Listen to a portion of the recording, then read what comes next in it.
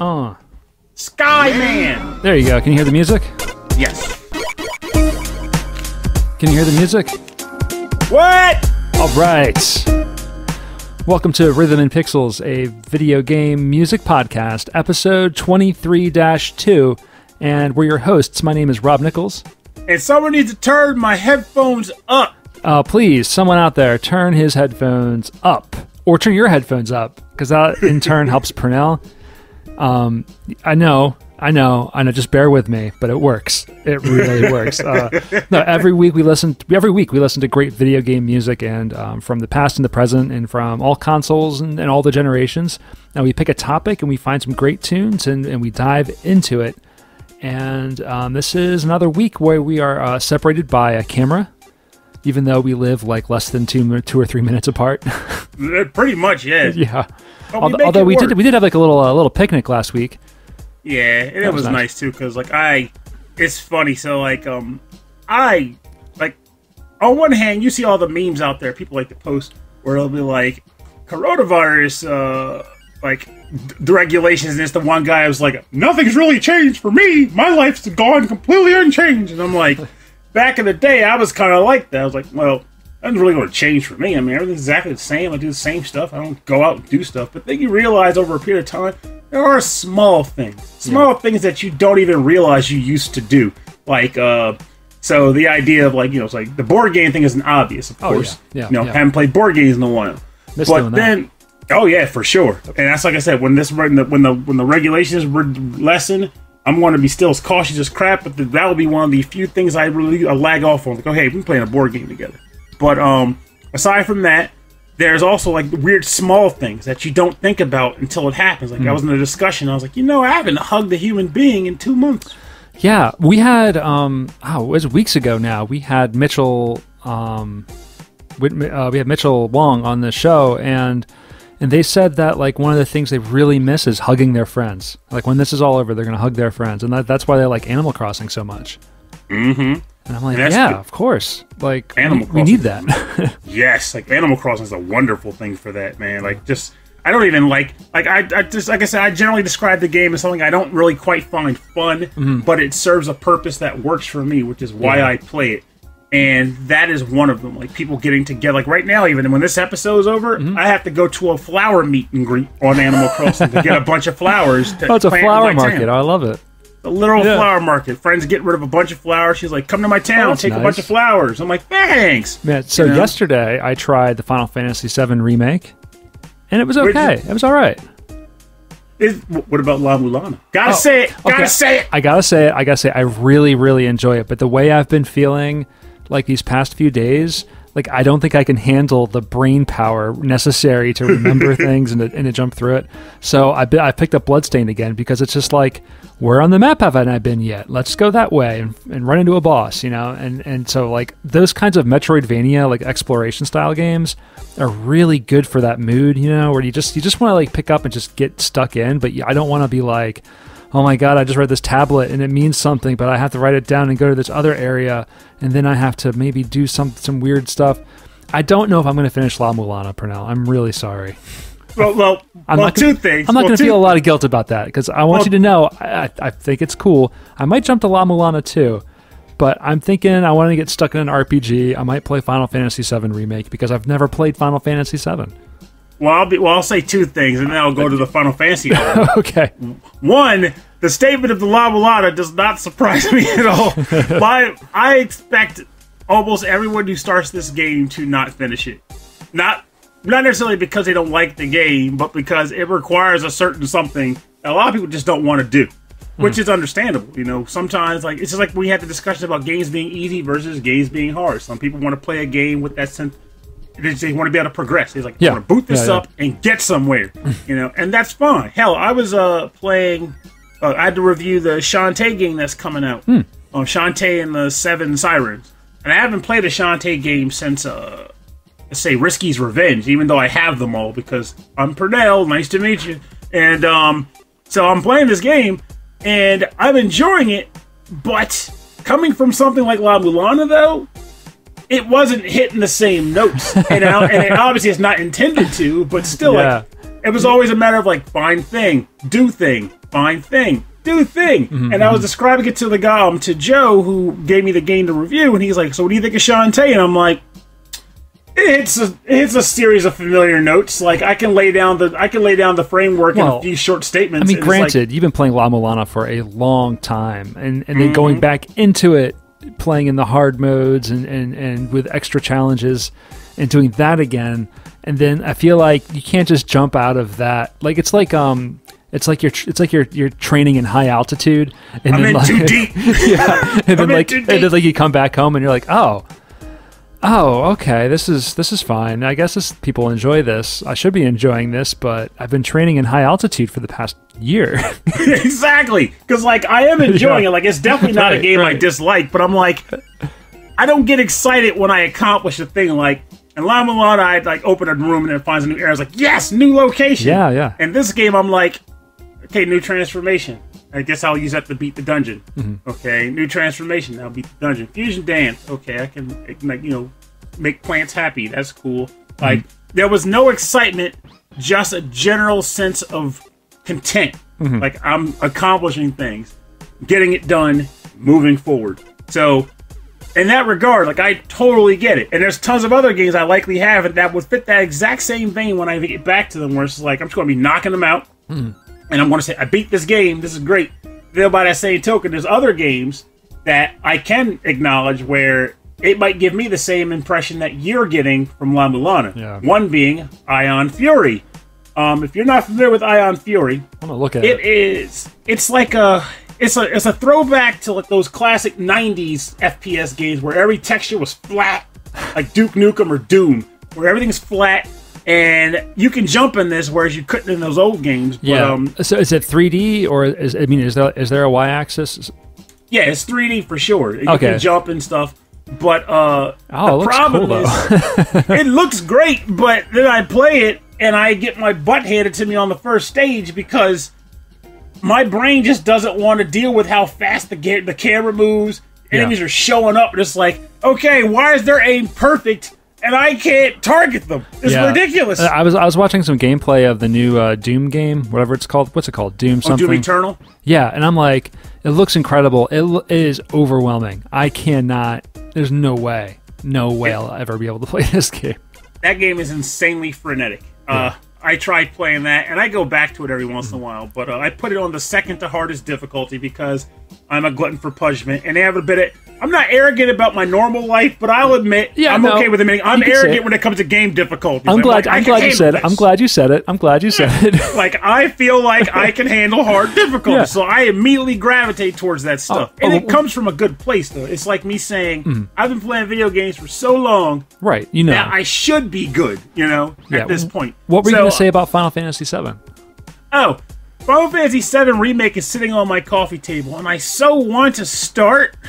It's just a matter of like I need to. Sh- if I do start, I got to shunt something else, Oh. like like Octopath. So I'm like, what do I do? How do I work with this? But I will say I'm curious about what your take on it is, because you're coming at it with a fresh perspective. You have no nostalgia to back it up.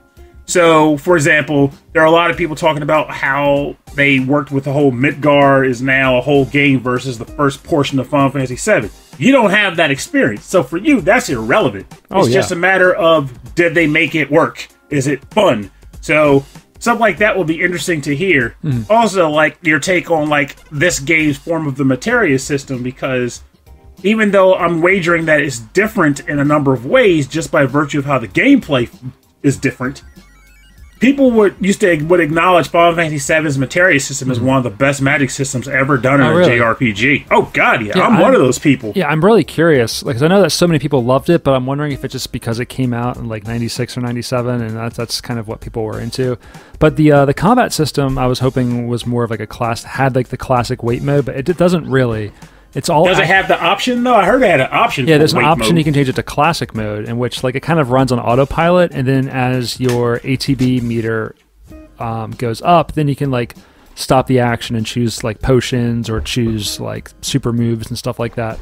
Um, but and then like normal mode is like you're actually running around and dodging and doing all of that, but also managing your ATB meter and then pausing the action and then choosing potions and, and all that. And actually, it wasn't that it wasn't that bad. That the demo was not like super simple. It was pretty rough.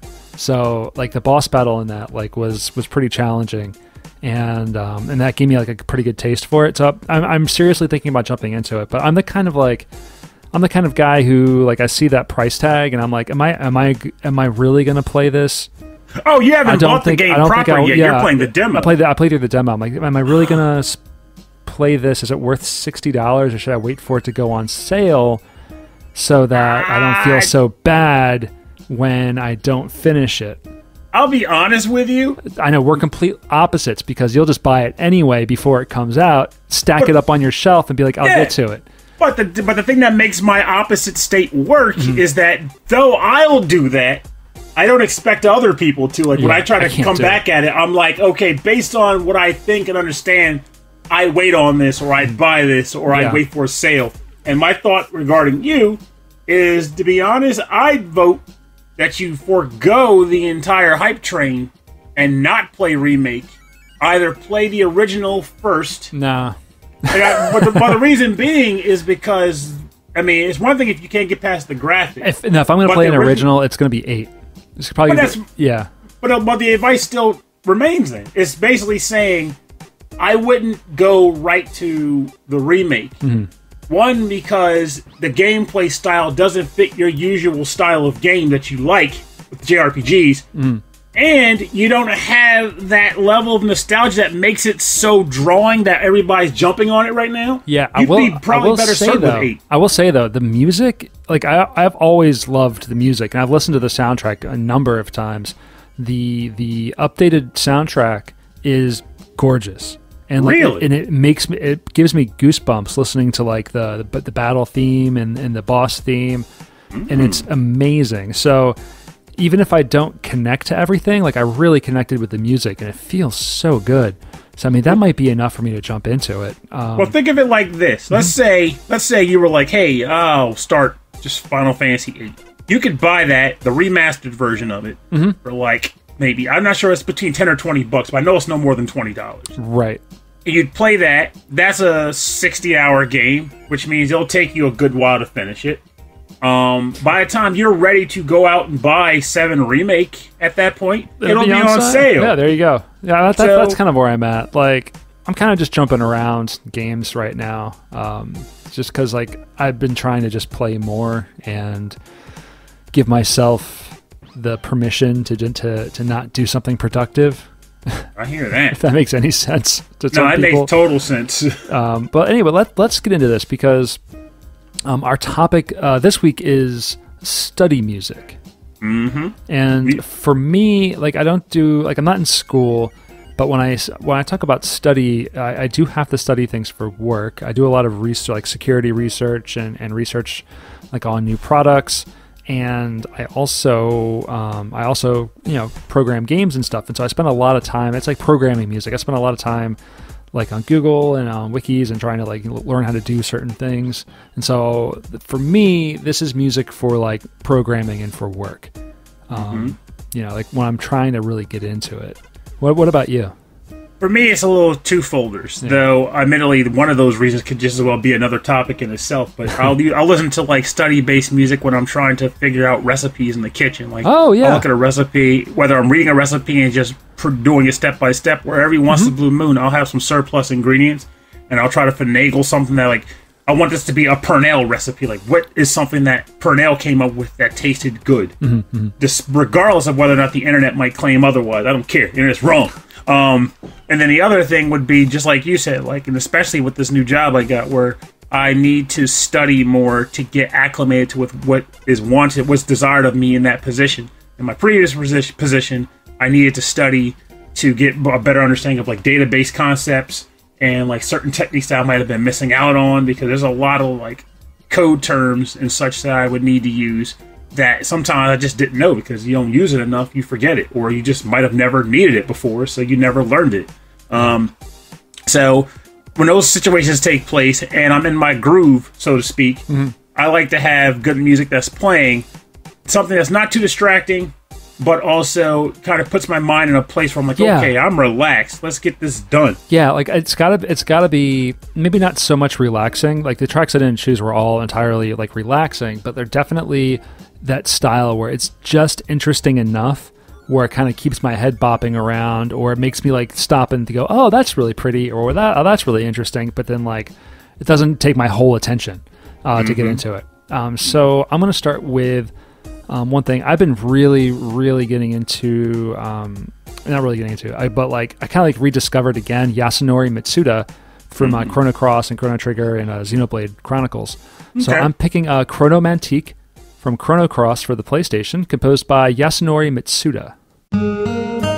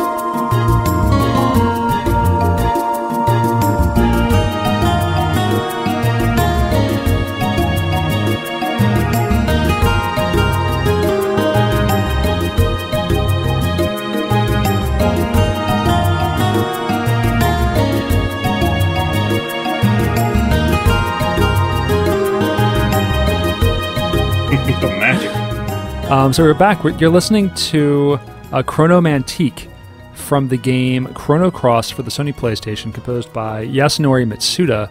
And, and this is like, I mean, obviously this is the theme of of, um, of Chrono Trigger, but in the style of the music in Chrono Cross. It's got like a real, like kind of mellow, almost kind of island feel to it, but with that amazing acoustic guitar uh, strumming and, and picking in the background and in the lead.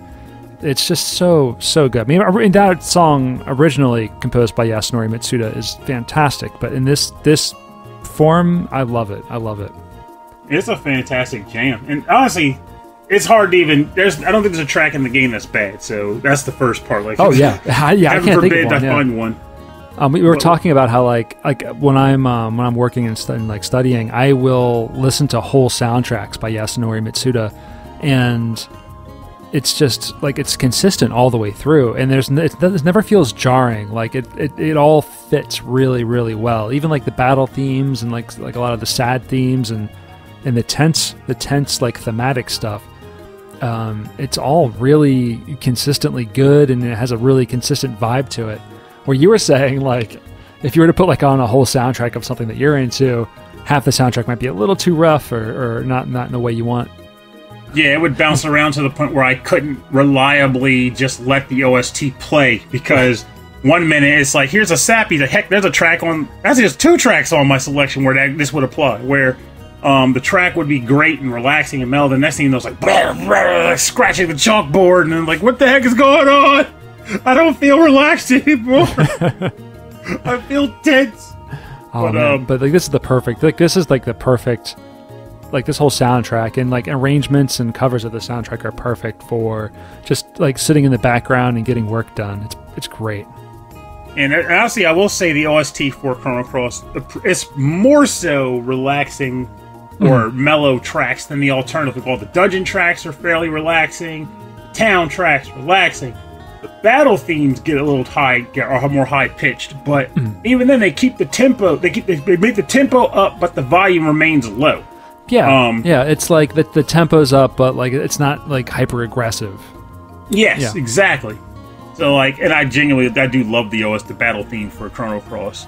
I always picture the freaking like drunken barmaid doing the drunk stumble, and like bam, punch the guy in the face. This Uh, game needs to get a re-release. I would love It- to, to go through it again. I would like to see it get re-released, but with more content. More particularly, it might be something that people would consider bloating it, but I would like to see content more related to the different characters. Hmm, yeah, Just gives them more time to shine. Mhm. Because I hate it sometimes you'd find a character, you get them, and then their stories end officially ends the moment you pick them up. like there is nothing about them anymore that gets brought up in the game. yeah. It's cool they give you the option with all of these characters that you just run into them and you kind of learn about them. But like some of them, they don't. They don't. Yeah, they don't give you anything. It's just, and that's kind of fun too because you kind of make your own story in your head, or like they because like you're playing through and like in an RPG, you kind of play through the story of the game. But in a lot mm-hmm. of these older ones, you can kind of play them in your own way. So I feel like you're telling your own story. And so in that way it's like they, they kind of these characters fit into your story and not the game story but i'm with you like i would love to know more about yeah more about the barmaid and um, Starky! starky Cool. i mean starky has a whole arc where you go into the ocean and find his spaceship That is true. So he at least got a little bit more exposition than other guys. well I- i guess he gets a little closure but then like he's so weird and he's like a weird alien he doesn't really fit into any of the world he's just like a weird alien guy and i beat the game with him and it just seems kind of weird that like hey weird blue alien dude come with me and save the world Okay. there it is. See, that's how a lot of those characters are. Yeah. To be, when you be honest, though, it's just like, what? A, hey, I know you work at a restaurant, you know, tossing soup, but you want to come save the world? Hey, mind the store for 25 days or so. I'm going to go fight Haley. Right, you want to uh, uh, go risk your life? Come on, let's go. oh no, I almost forgot my battle spatula. It's just like battle it off spatula. the wall. It's like, come on. But that's part of the quirk. It's like you, it's like you just kind of throw exposition to the wind. You just Mhm. accept that it's not going to truly make sense. It just is. But even with it not making sense, it's still there's something nice about being able to say, I learned more about my favorite characters in this manner. Yeah, that would be really great. neat. They, don't even have to do much with like the graphics, like with um, like with it with because this this in this game and Final Fantasy VIII came close to around the same time, and they're they're the kind of that same art style on the PlayStation One, where it's not quite blocky like Final Fantasy VII, but it's not exactly uh, the highest resolution of of character art that you've ever seen either. I will say though that I played it on the Vita. That's Mm-hmm. where I re-downloaded it to get my replay in, which I really need to resume. Darn it! And uh, it actually looks okay on the Vita. It might no be kidding. because the smaller screen, yeah, but it looks nice on there to me. Oh, that's good to know. So, Well, I, think, might- I didn't. I didn't. I didn't know it got re-released on the Vita. So maybe maybe that's a good sign that it could come back. Well, let's not go nuts. So the re-release on the on the Vita was primarily related to the PS1 Classics line that they were doing. Like they would make these games just downloadable onto PS3 and such. So they were just the original versions of the game, just downloadable. And PS Vita was compatible with PlayStation 1 downloads, which meant that library could be played on a Vita. So I just went did a roundabout way and got Chrono Cross oh, on I there see. and played it. That's very cool. Yeah, it's nice. It just it, it works. It's snappy. I love how you said snappy. No reason to be said. It's snappy. Um, all right. So, what is your first track going to be? All right, so I'll pick a track from a game I have picked from in the past, but I wanted to bring it onto the show anyway. Um, this comes from the game Death End Request, and Oh. the title of this track is called "Happy for the Wrong Reason," and it's composed by Yuki Sugiura.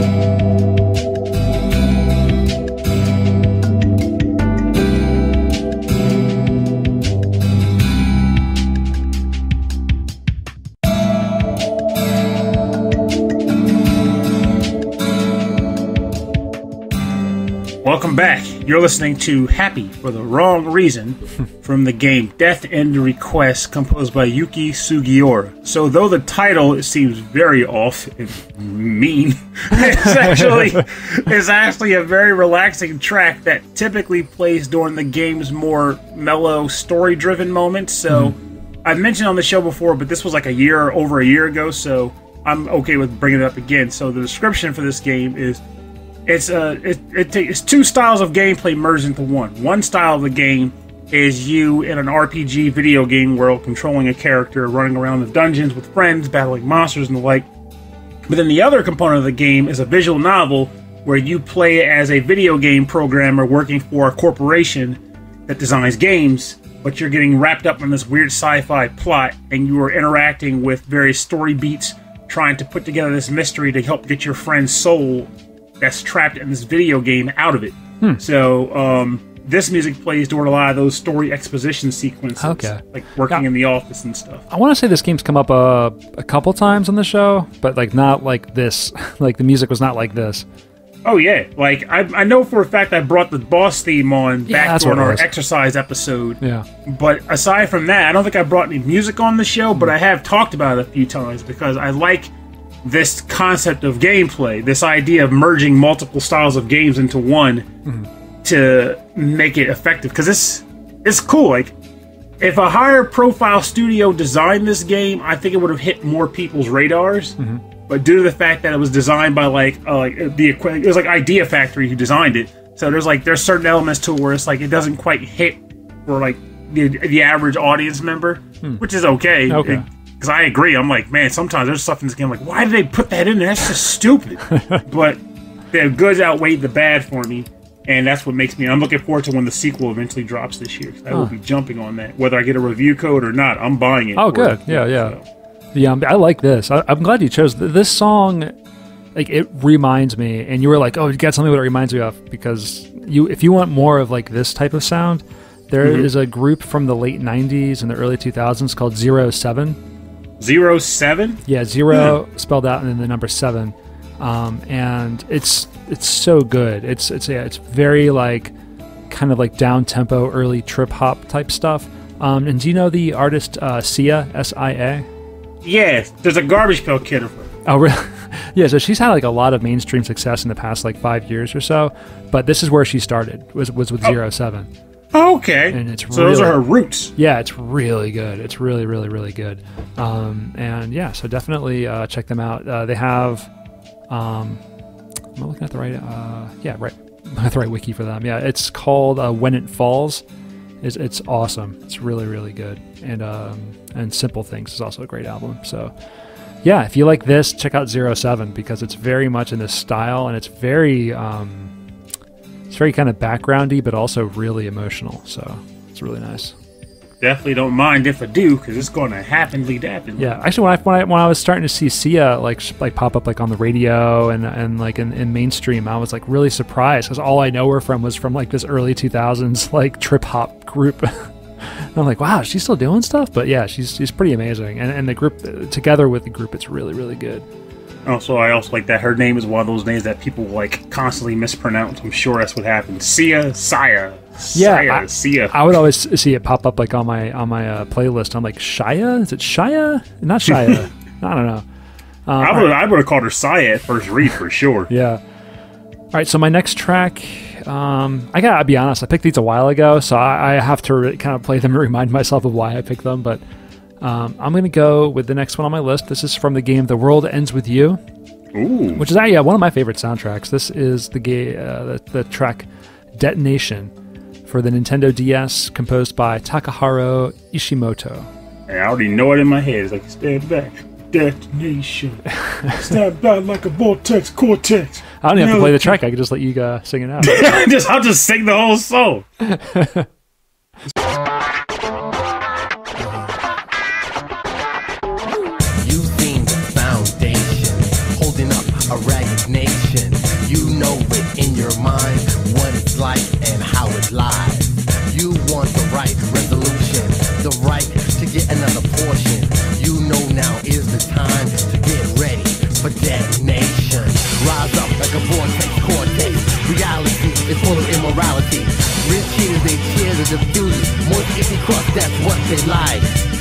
Complex going on and on. Insanity means nothing within vanity. Good creatures, they wallow within holly. Now, sweetie, go kiss the cake.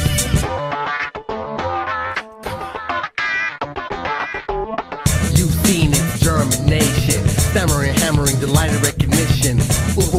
The hubble bubble world. You should love to say cheers to your ally, baby. You chose the left direction, left your shadow on a color with the sorrow. But how could I? Why should I? I will take part in our pretty decoration.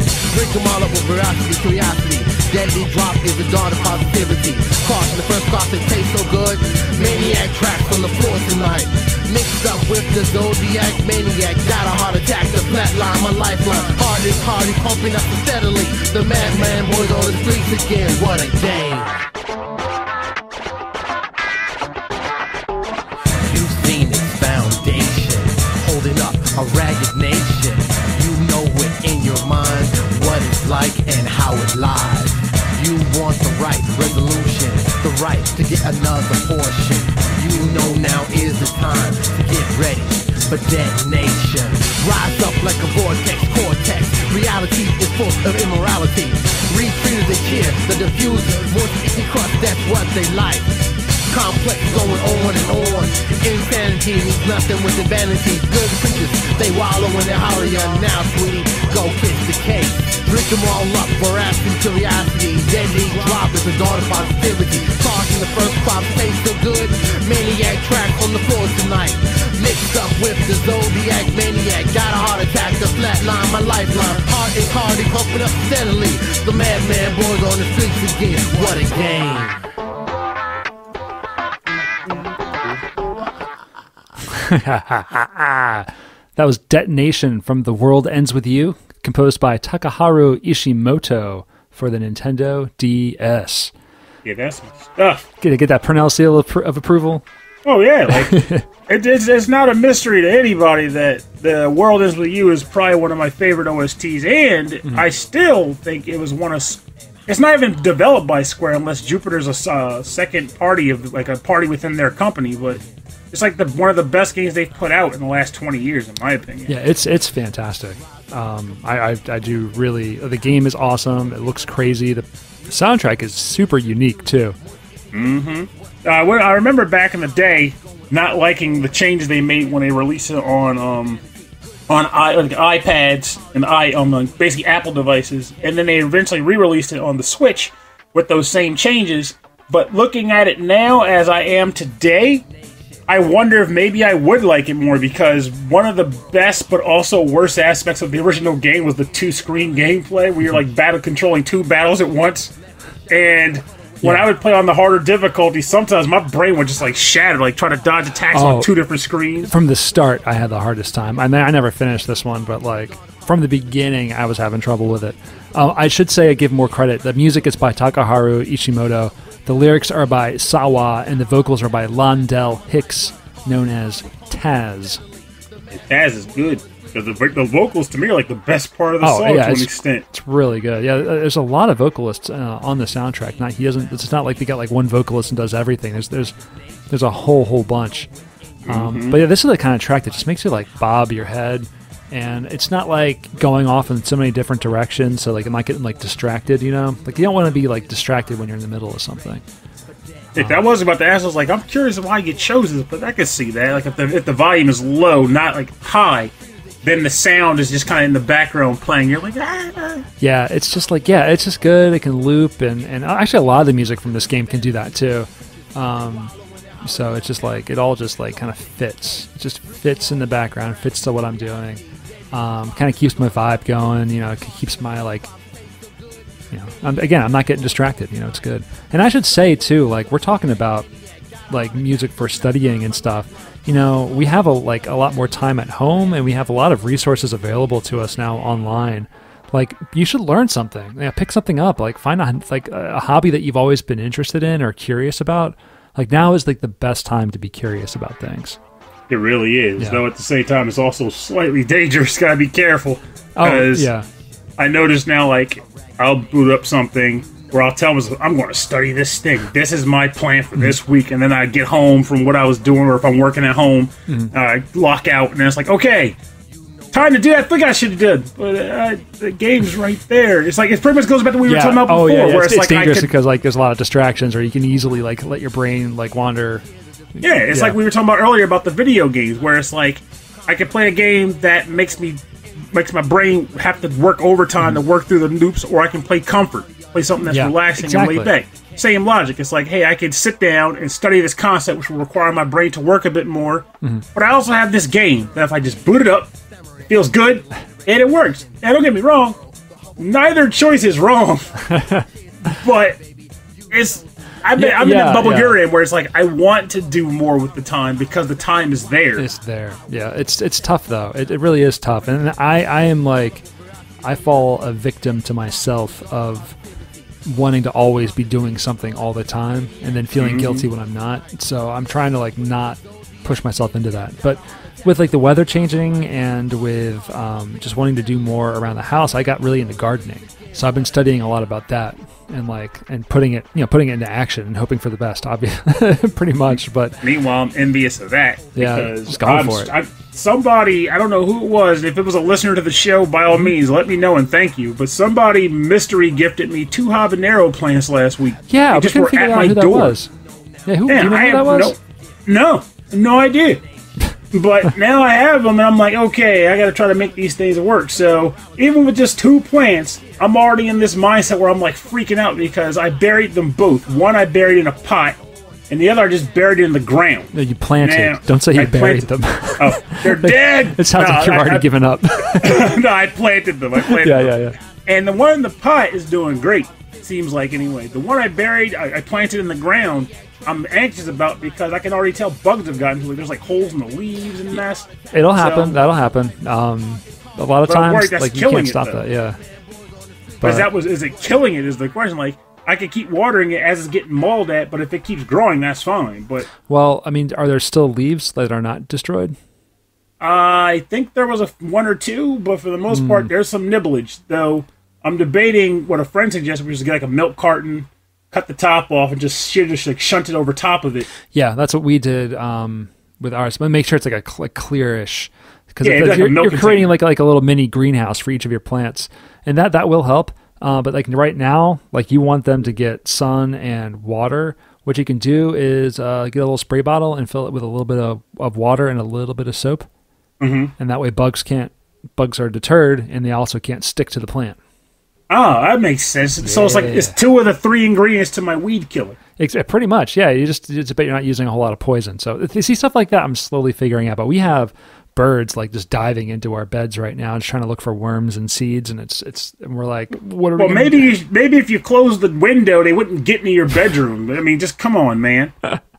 But I like them. They wake me up in the morning. I'm looking for worms I and feel seeds. I feel like I'm in a Disney uh, movie. You know, all the all the birds wake me up, and then they then then they clothe me. And then they start pecking at your eyes. they back at my eyes, and then they make me breakfast.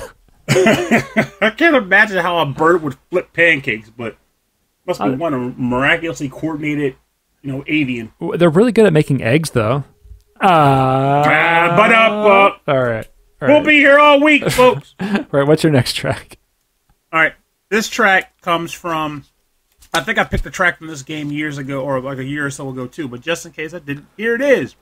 This comes from the game Forager, and the track title is called "Endless Fun," and it's composed by Hernan Marandino. Yeah, I don't I don't think you've played this one before.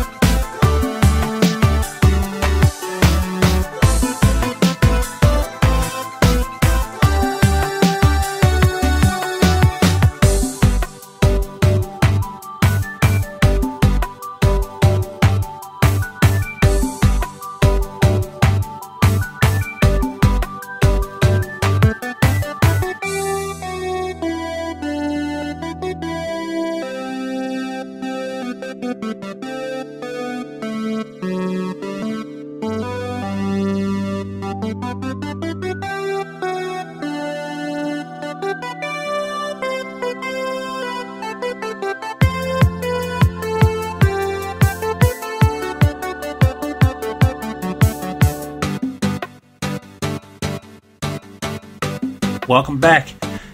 You just enjoyed listening to Endless Fun from the game Forager, composed, composed by Hernan Marandino. And it's funny that this track is titled Endless Fun on an episode about study jams. Mm-hmm. But let's be honest here, though we were always taught that through TV and media that studying is supposed to be a chore and boring and annoying. Let's be honest here, studying can be fun. And I feel as though this track, having such a title, does a good job of making or adding a little bit of whimsy to a study session. Um, and not necessarily a study session related to reading books and chapters in a book or whatever, but this could also apply to, say, you're doing something math related, like you're just practicing a number of like equations. Yeah, there's something like, about this song like it sounds like math. It sounds like you're Hmm. doing math. I don't know why. Yeah, because like it's that idea. Like picture this track playing while a person is like at a board trying to solve like a resolve a theorem or something. Like okay, there's an equation. Okay, this isn't quite playing out. Let me step back and figure out where I miss it. So they got their arms crossed and their hand at, at their chin, like they're scratching their chin, like hmm, aha, and they're like they're crossing out the whole time. Bit, bit, bit, bit, bit is playing, and it. But yeah. like, what what is it about? Like, what is it? Like, like what what is in this song's DNA that makes me feel like this is edutainment music? You know, like, it's there. Like, you agree with me, right? Like, Yeah, Yeah. I think it's just by virtue of like it fits that as how it's programmed for a game where like the idea of like moving and accomplishing things in a in a series of events mm-hmm, mm-hmm. is a factor into it. But I think it might just be that it's light, whimsical, mm-hmm. not aggressive. Uh, it loops easily. Which means you don't have to. Your brain doesn't take have to result have to resolve a number of various tempo changes or anything like that. Um, and it just it just works. Like that's why I wish this is times I just want to read something like Michael Bridgewater and shows like, well, you see, guys, I'm a, I understand this stuff because he has a doc. Does he have like a doctorate in music, yeah, he does. He is he is Doctor Bridgewater, I Doctor Bridgewater? or or he just finished his dissertation. so in that case, he'd be the guy on here. who's like, look here, guys. Here's the here's the here's the here's the four one one. Here's the rub. Have, here's the rub: buffalo and and garlic. But uh, but also like he, I could see him totally going like, this is why it has that sound. This is the style of Yeah. sound that usually draws you to believe that it can mm-hmm. be used for this purpose. Like, music is an amazing, mm. amazing thing when you really lay it on the table. The fact that there are things music can make people feel but it's so ingrained in the art mm-hmm. that most people can't even describe it. It's just a Yeah, thing. yeah, yeah. It's like so it's cool. yeah, it's like and, and it makes everyone feel something a little different too. You know, the same thing can make someone else feel something different. um, Yeah. which is interesting. Like like dancing music, music that makes people want to dance. Hmm. You the, the light the easiest description might be someone saying it just feels bouncy. You know, but uh, once you get past the bouncy word and you're just like, okay, let's describe this from a technical perspective. We all pretty much falter. It's like, well, um, there's a syncopation with a triangulated beat at the Q note point. Like I, there is something about like a good shuffly like song that gets you moving. But um, that reminds me of that uh, that Dave Chappelle bit where he um, it's all about like what makes people dance. Have you seen that? I do remember Yeah. that he was like going to the bar with that guy. He went to the barber shop. He's like, he's going to play this beat and see what it makes people do. And he's like, it's not that white people have no rhythm. It's just that they dance to different stuff. Yep. That whole that was one of their best sketches. yeah, that was really good. I was like, yeah, we're not so different. I missed right. that show. oh, I know. Yeah, it, it was. It was. Uh, it was definitely like ahead of itself. You know.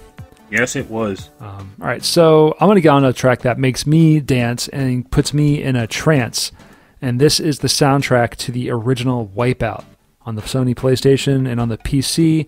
Music is composed um, entirely, except for like one or two tracks, which were I think were PlayStation only, um, by the artist known as Cold Storage. And this is, yeah, and this is the tra- Wipe out. Wipeout. Um, but no, this is anti gravity futuristic racing, but like like 90s futuristic. So it's like a lot of cool neon colors and and like polygons and stuff like that. But this is a track called Operatique from Cold Storage for the game Wipeout.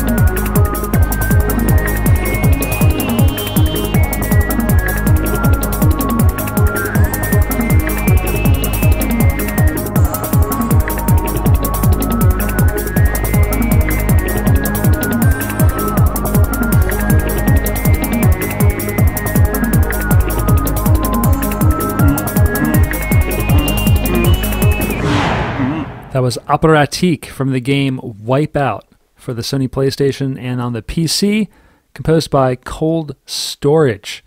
And that is a that's a journey right there, man. I was like getting all kinds of vibes. At one point, I got a vibe of back to back from Sonic Rush, composed by Hideki Naganuma. Then Yeah. I got vibes of like a track that you'd find in a Crash Bandicoot game. and it's like it was all over the place, but all of it was good. Yeah, all I haven't was enjoyable. I haven't played anything from this game and since like one of our first episodes, like the first ten episodes, I think I chose from uh, Wipeout, like on our racing music episode. Um, I should say Cold Storage. His name is uh, Tim uh, Timothy Wright. He's a Welsh composer. really. Yeah, did a lot of did a lot of work, um, like a lot of commercial work early in the day, and then worked with Psygnosis, and then eventually Sony uh, Entertainment. So I love how I was like, you're like, he was a Welsh composer. I'm like, whoa, really? no kidding, Welsh. Welsh people compose? yeah, totally But- not how it was. Here, here's a little bit of, uh of what else he's, he's worked on here. He worked on um, uh, Holiday Lemmings, uh, Mickey Mania on the Mega CD. There you go. All right, I'm sold for that. That was a Yeah, decade that was good. good music. Uh, also had music on Wipeout 2097. Um, a lot of the music, uh, MTV Music Creation Studios stuff on the on the PlayStation. He worked on um, Colony Wars. If you remember that old one, that was pretty cool. Colonial. Yeah. So, but yeah, ma- mainly mainly racing games and mainly games that were like those like create your own music type stuff, like studio type stuff. Did a lot of music for those. Okay. Yeah. Um, not, I like. Well, honestly, now it makes me want to listen to a little bit more of his stuff. Maybe there's some other jams worth checking out on. Yeah, and I've I've been recently getting back into listening to like house music and trance music again, and um, it's made me like nostalgic for the the old like '90s rave like music, and so that's that's what this is for me. It's like this is like when I was really starting to get into electronic music, and this is the kind of stuff I would listen to all the time. In fact, I would just take the the set the, the game was all Redbook audio, it was all tracks on the CD. And I would just take the CD and put it in my CD player and just listen to the music on its own all the, all the time. It was so good until I until I broke the CD and I could only listen to the music and couldn't play the game anymore. Uh, how wait? How would that even happen? Well, it was like track one or two was like the data, and then everything Oh. else, yeah, then everything else was the was the game. So, um, but yeah, I, I would listen to this all the time, and um, yeah, I, I don't know something about like that kind of like repetitive pulsating beat and things slowly evolving over time. It's just perfect. It's perfect for programming. Mm-hmm. All right. Well, color me sold. Yeah. Pretty like that.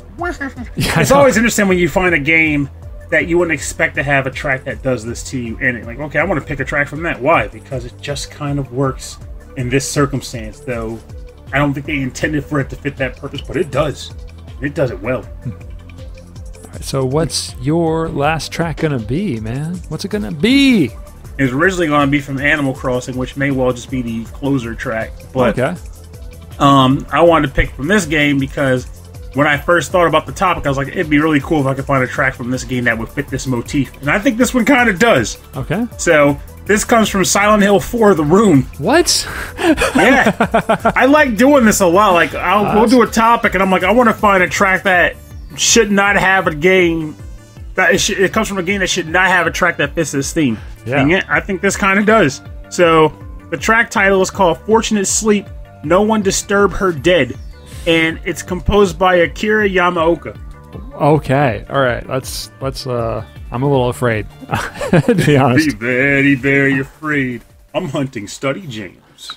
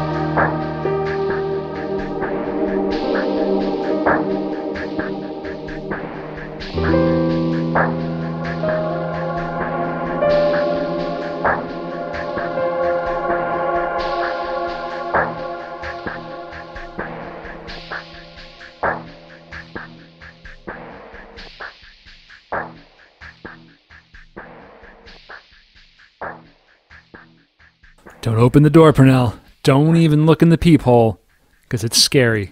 It's I- too scary. But I must know. I have to know. My future lies behind that door. Maybe. I don't know. It should. Well, welcome back, folks. You were listening to a track called Fortunate Sleep. No one disturb her dead from the game Silent Hill 4 The Room. The.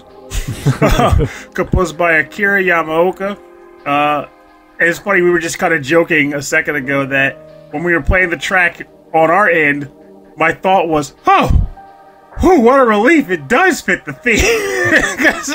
there was this small party I was like, was this in my head? Like, it sounded good at the time, but then when it's playing on the show proper, I'm like, oh god, oh no, it doesn't work. But it totally does, even with that to do. Yeah, it's it's sinister and cool, and kind of kind of jazzy, but also scary. It's a scary jazz, dark Mm-hmm. dark jazz.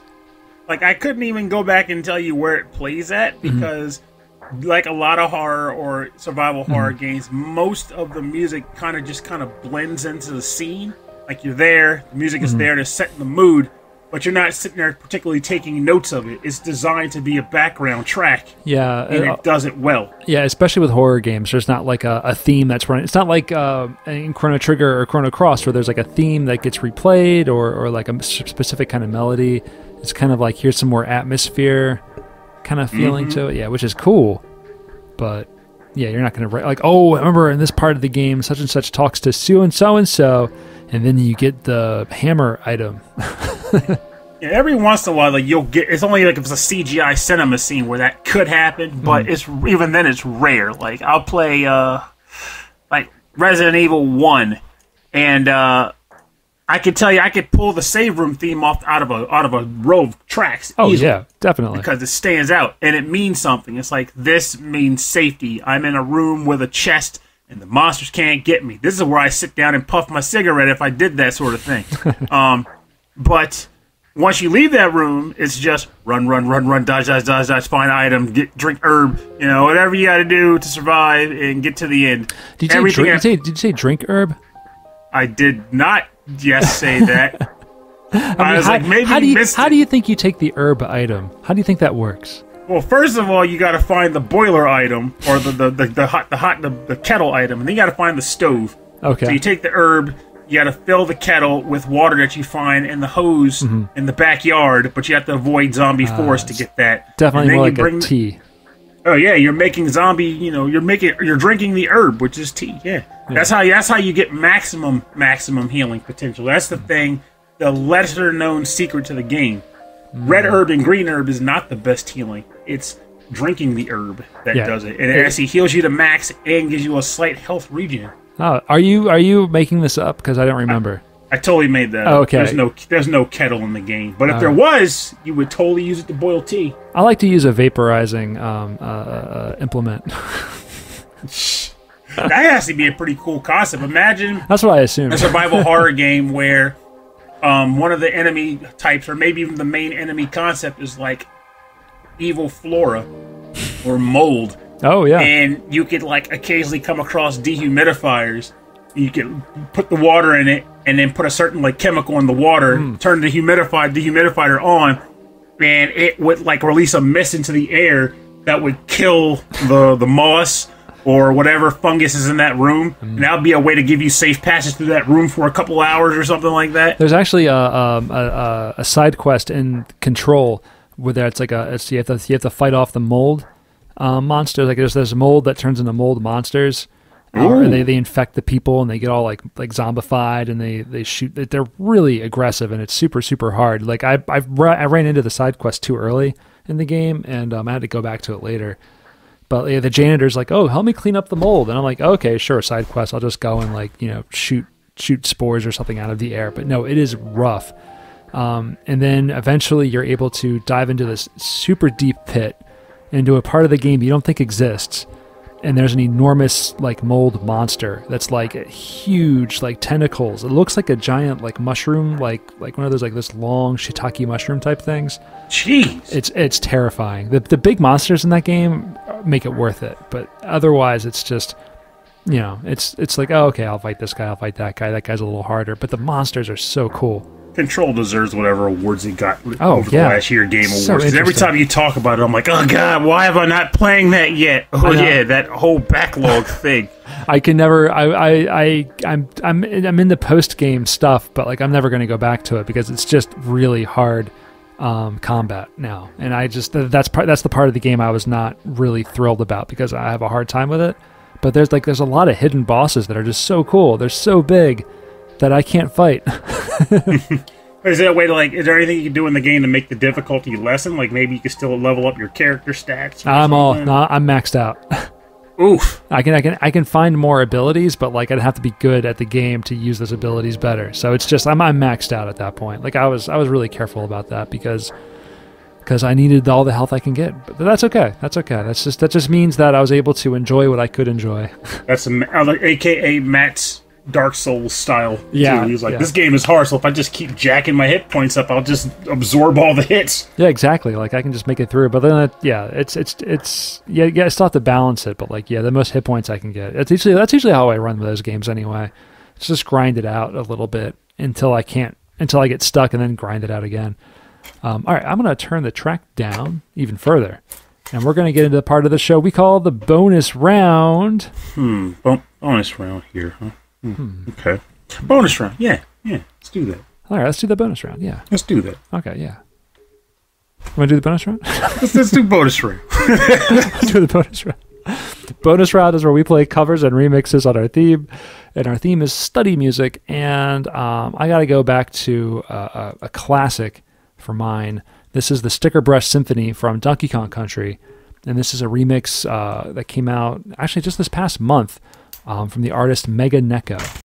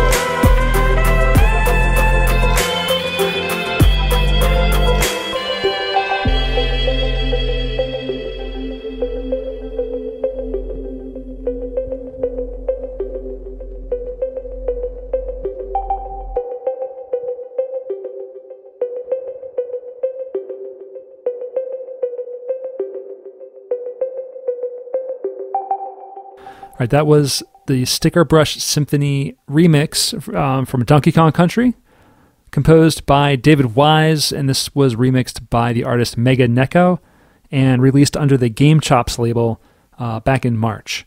That's one giant cat. Yeah, it's a mega mega cat, mega cat, mega cat city. Remember Megakat City from um, uh, SWAT Kats? That's got to be one of the weirdest. Was that the name of the cartoons. town? Yeah, Megakat City. Um, Huh. And then instead of like a brewery, they had um, a catnip plant. I don't even remember those Oh, God, specifics. what a weird. I'm assuming show. the bar served milk. Yeah, probably, probably that's what it was. I'm sure. I'm sure uh, um, a whole load of furries was uh, was uh, Yeah. was, was born from that show. But You know the funny thing though, thinking back on that concept now, as a Yeah. kid, I'm probably betting I was thinking, yeah, bars would just serve milk. Why But then Yeah. everything is milk. But as an adult, knowing that there's such a thing as a milk stout, I would imagine all their bars would just have milk stouts. Yeah, it's like um, I, I always thought it was funny in um, Power Rangers. They would be, be at their local gym and they would eat. They would they would have like a smoothie bar, Mm-hmm. and I was always like, who would do that? Like The Power Rangers would. the. Power Rangers. would. that's that's how they all met up, right? That they're all eating smoothies. I need to recruit a team of teenagers with attitude and a and an aptitude Teenagers for with fitness attitude. food consumption. I've actually been making smoothies a lot, like since since this whole thing's been going. I don't know why. I just for, for I just get all this frozen fruit and I just I just blend it up with like milk and yogurt and stuff, and a ton of um um uh, ginger. I love ginger. God, that would be a weird aspect of the show. I need to recruit a group, a team of teenagers with attitudes and a consciousness for health food consumption. Yes. and it's like six friends hanging out, and then those five friends who eat well get drafted. The one guy who eats pizza every night gets left behind, and he spends the That's entire show jealous of his other five Well- Power Ranger friends. If you were an alien from another planet and you needed to recruit Earth er, people from Earth to fight, of course you would go to like a gym and be like, okay, who's who's strong here? Who can do this? We need five very muscular teenagers. Can we find them? And, that um, guy, I mean, he drinks protein shakes, but he doesn't exercise. and, well, they, and they can't have that means families, so, so no one's going to miss them if they. If they That is that is true. They never intro- did they ever introduce any of the Power Rangers' parents or siblings I don't or think anything? so. I don't think so. It wasn't like that. They never had. They didn't have families. All right, we are off on a weird tangent. So, what's your what's your bonus round track? Okay, this is not from the Power Rangers. No. In fact, it's actually for Wario's Woods. Oh, Uh, this is a remix from a guy that I'm pretty sure I actually did pick from on this show in the past. I was pleasantly surprised by that. But the track is the, a remix to the Round Clear theme, and it is remixed and arranged by Jugebox 98. huge box ninety eight Like huge, like J U G E. Huge box. for the ninety Huge eight box. because those 90, 96 and ninety five are all taken. Mm-hmm. Huge box. Huge box Maybe 98 was just a really good year for Huge Box. could be. You know, I, I yeah, I shouldn't make assumptions. Gra- he graduated from high school, you know, or Now maybe he was know. busy saving the planet and drinking smoothies. That's right. He had just been recruited as a teenager with attitude and health food conscious habits.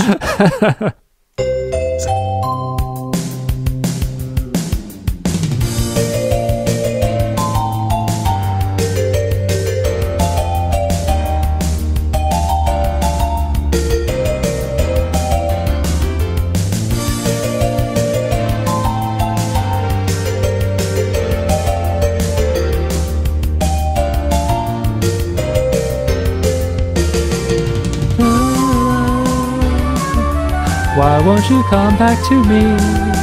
Having fun in the sun, and then we'll be so happy. As we round clear, have fun and dance around underneath the sun. That's great. It's warm outside.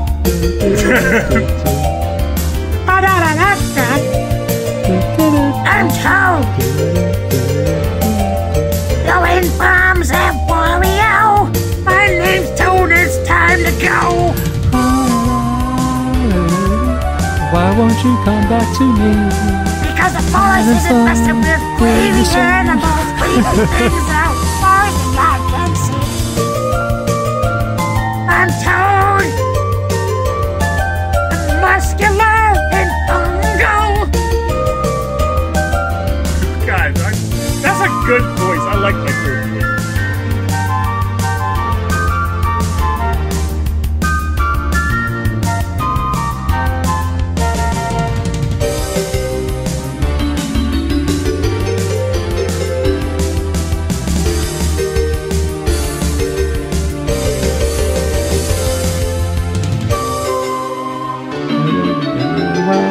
come back to me?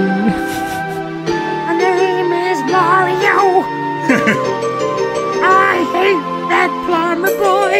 Doesn't even have a degree.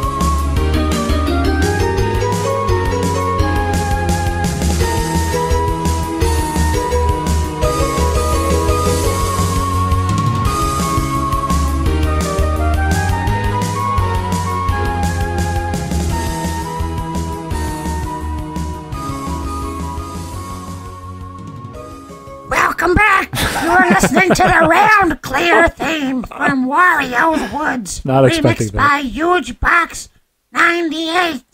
and I'll stop doing that because I don't have the the chops vocally to maintain that voice for a long No, period of time. no, not at all. Not at all.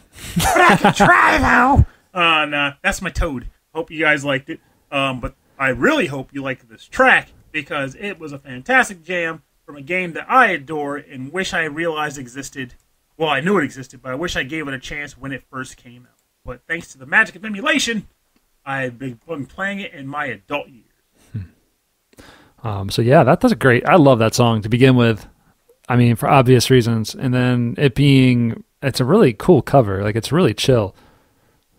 so just relaxing and i think it totally fits the whole motif of us talking about uh you know trash you can just kind of play in the background while you study Yeah, yeah. this could totally be that track it's light enough to not be distracting but relaxing enough that feel like it make you feel like it belongs in the environment Oh, yeah. keeps you, keeps you moving Well, for more information on the bonus round part of our show, go to rhythmandpixels.com. We're going to have links to all these artists' uh, YouTube pages and Bandcamps and SoundClouds where you can all uh, get the music and buy the music and support all of these amazing artists.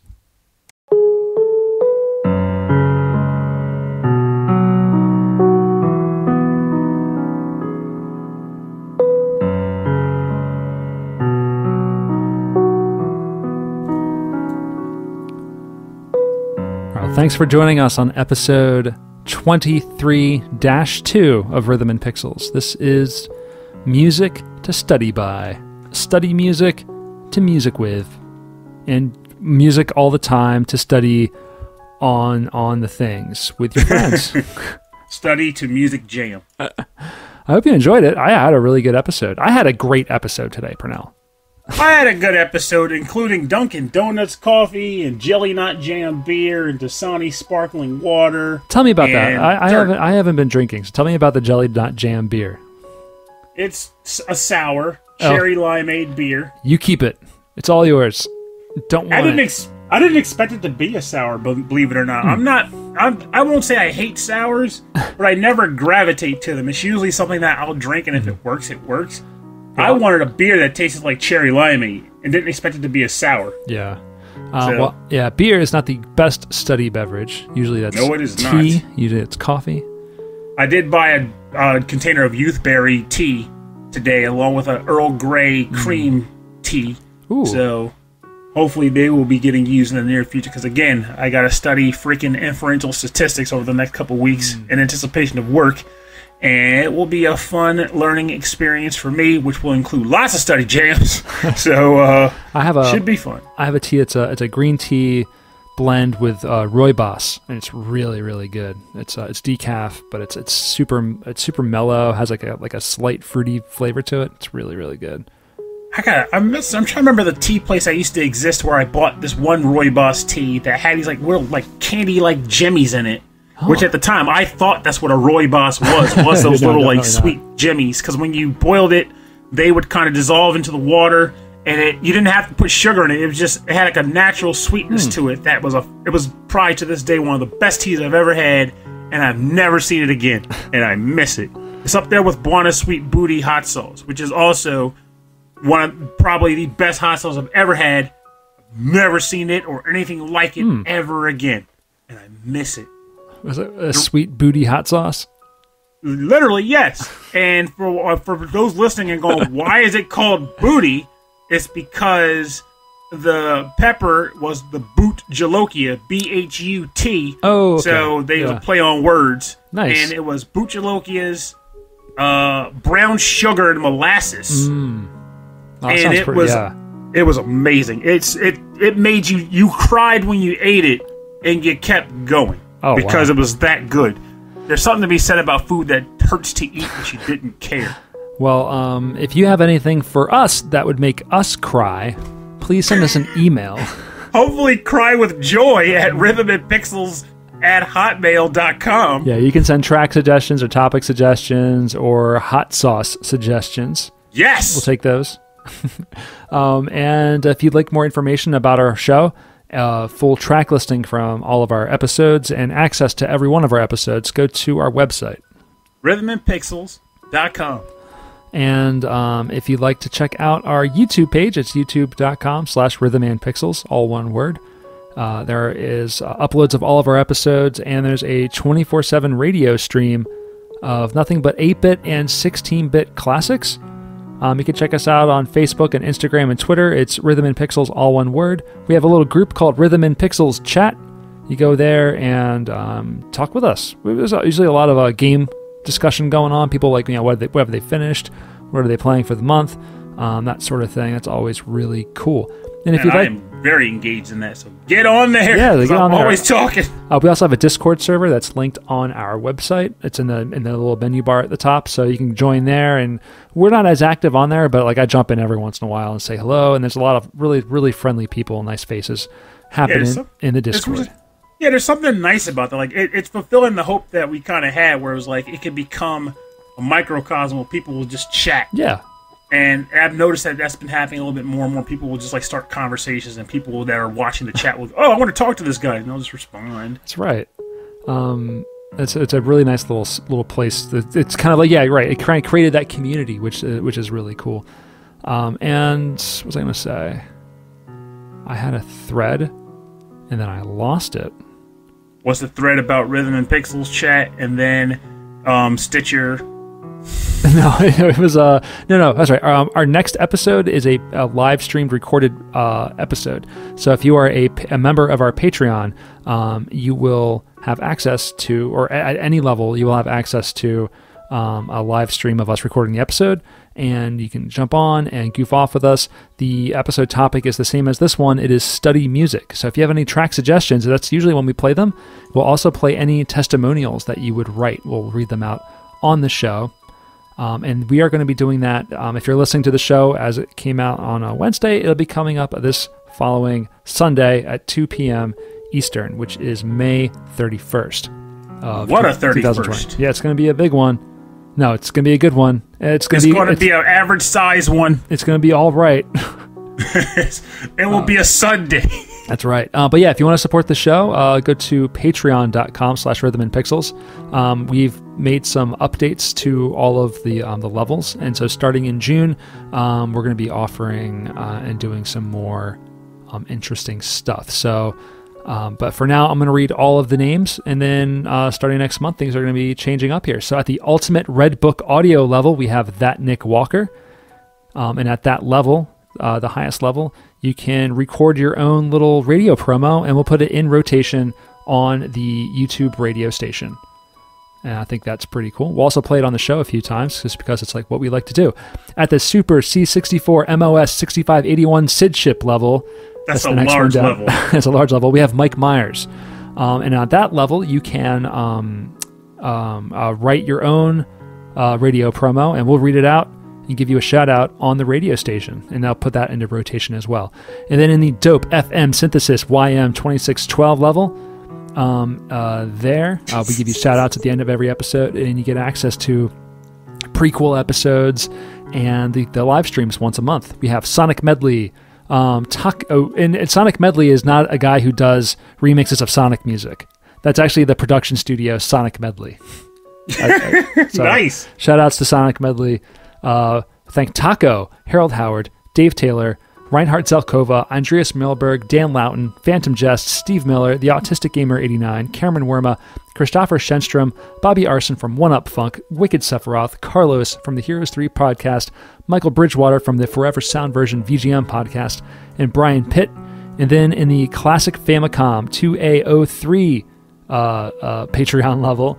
Um, there you get you just get access to our prequel episodes every week and a monthly live stream of our show.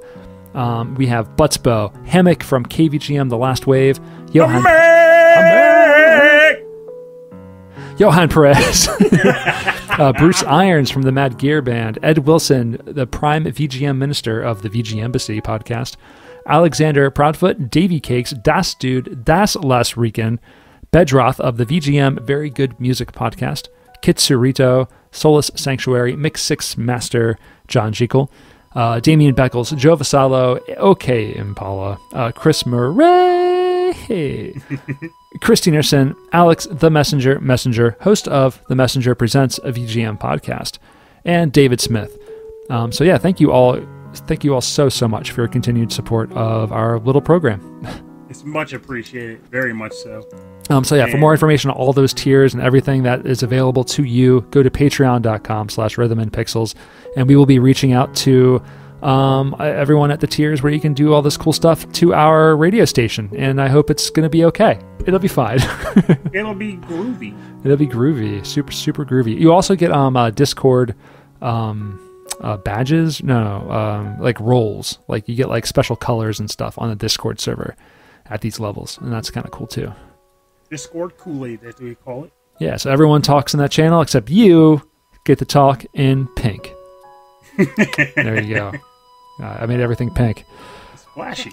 Um, that's it. So yeah, next week is our live streamed episode. Then a week after that, we have a fun topic for you. We might have some more guests coming in the next month, um, which I'm excited about. So we'll be reaching out to a few old friends and some new faces. New faces. Ah, um, ah, boy, It's like, whoa, that was a lot of words. there's a lot of names pronounced. No, I'm kidding. Um, anyway, that, that's all I've got. Do you got anything else you want to talk about? Anything you want to mention? Um, I, I'm not. Don't don't hold me to this, anybody. But if you want to comment on it, by all means, please do. But I am debating on like eventually just starting uh, attempted stream uh, run just to see like if I play a game on like say a Saturday rather than just play it in silence, I'll just turn the stream app on my PlayStation and let it run to see if people would watch it. Uh, That'll be on. If- if it's still set up and you don't change it, it's at Twitch TV, twitch.tv slash rhythm and pixels. It'll be on our, our Twitch stream. Yeah, I haven't changed anything, so that's totally would have been big. so by all means, like maybe like if you have any thoughts on that, by all means send me send a message to the email or just hit me directly like you typically would, and just give a heads up. But I'd be curious to hear people's thoughts on it because I've been playing that Rabi-Ribi, Mhm. I'll- oh, I'd love to watch that. Yeah. and that's that's where I was thinking about. I was like, uh, people were like, it's such a difficult game. It'd be cool to watch. I'm like, if you want to watch me repeat and fail over and over No, until I the- get it right. The entertainment would have been watching you do all the nightmare runs of La-Mulana. Oh mercy, that was a, that was a brutal. Just Um, fighting Viy alone was like horror. And you can also check out my Twitch stream at Twitch TV, twitch.tv slash Robbumon. That's R O B B U M O N. If you want to watch a man in his 40s nearly die playing DDR at high speeds, that's what I do. Um, okay, that's it. So thanks for listening to the show. My name's Rob Nichols. And I'm Pernell. Have a safe week. We'll see you next time. And remember, we gotta said it already earlier in the episode, but it bears repeating because and remember needs to happen. I can't stop. But you have like you know while anything that you do during this time that isn't hurting you is a fine thing to do and engage in to pass your time. There's no harm in taking some of that time and applying it towards learning a new skill, get some study in, and you know further bolstering a skill or knowledge that you already have but uh, because it's really easy to use all this free time that we've got and just veg. Because let's be honest, vegging is fun. I have thousands of video games here, and vegging is not a hard thing to sit down and do. I love it, but uh, at the same time, for many of us, you will probably not get this much free time at a period of time in your entire life again. So this will be a great time to utilize that time to apply towards learning a skill that you can then take into the world and hopefully use it as a way to either better yourself career wise or just fun wise. Learn the guitar, learn the tambourine, learn the triangle. The triangle would be such an awesome thing to learn. it's just like whack whack. Anyway, the point is study something. it's cool. And you you you will you have nothing but thanks for yourself by even engaging. You you can't lose at learning. there it is. That's a you can't lose at learning. Nobody loses. Nobody loses. The only way to win is to play.